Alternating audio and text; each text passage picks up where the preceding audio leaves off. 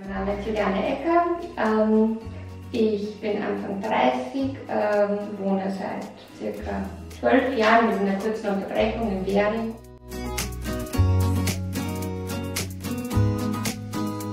Habe ähm, ein kleines Unternehmen namens Nini gegründet, wobei es darum geht, dass ich eben Reste von unterschiedlichen Planen verwende und aus diesen, damit die eben nicht entsorgt werden müssen, äh, nähe ich aus diesen Taschen, Rucksäcke, Geldbörsen.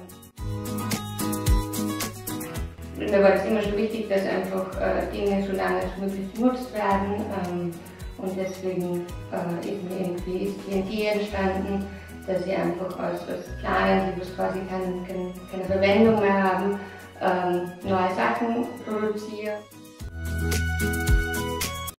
Es geht eben hauptsächlich darum, äh, die Nahversorgung im Bezirk äh, zu fördern und zu unterstützen und dass das Ganze eben zu Fuß passiert, also dass die Leute innerhalb ihres eigenen Gesetzes oder ihres Bezirks äh, zu Fuß einkaufen gehen und die ansässigen Unternehmen unterstützen dadurch.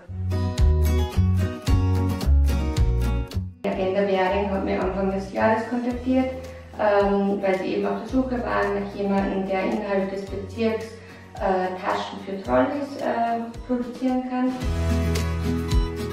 Von diesen Planen bis zur Tasche sind es einige Schritte. Der erste Schritt ist eben mit Planen zuzuschneiden, genauso wie die Gurtbänder, dass die zugeschnitten werden.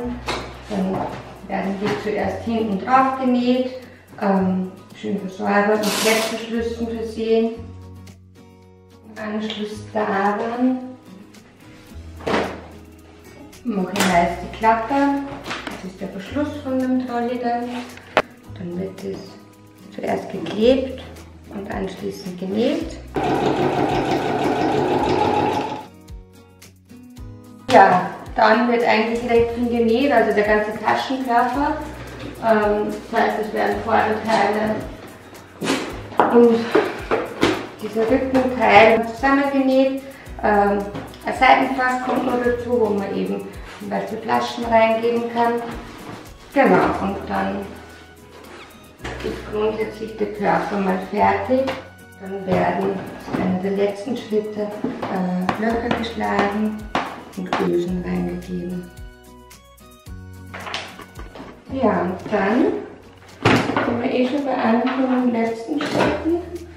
So wird die Kordel reingezogen, einfach durchgefädelt damit sich die Tasche dann schön zuziehen lässt.